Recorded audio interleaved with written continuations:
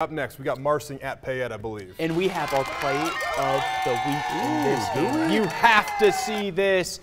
Blake Garcia. Look at this, the tip drill. Oh my goodness. Is he gonna score too? He's gonna score! I mean, does the defender get the assist? Unbelievable. I think so. Oh my goodness, what a play, Blake. Payette would roll in this one over Marsing 27 to 8 the final. Yeah,